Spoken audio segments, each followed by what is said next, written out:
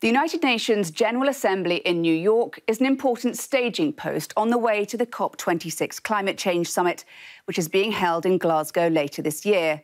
At the summit, we're told the focus will be on coal, cars, cash, and trees. And today it's cash in the spotlight.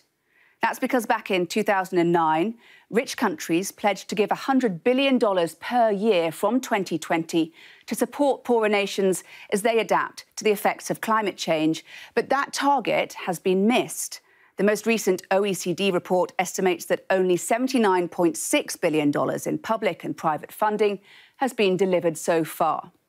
America had taken some of the blame for that, promising just $5.7 billion a year which critics said was nowhere near enough given the size of its economy.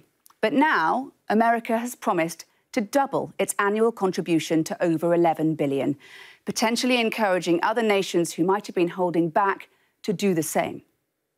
The US now joins the UK, which has pledged to deliver around $3 billion a year over the next five years as a climate leader in finance funding.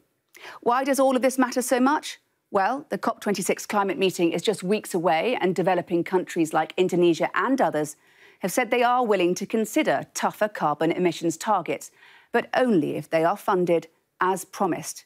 To them, it's a matter of trust and good faith. It may be just a number, but that 100 billion really matters.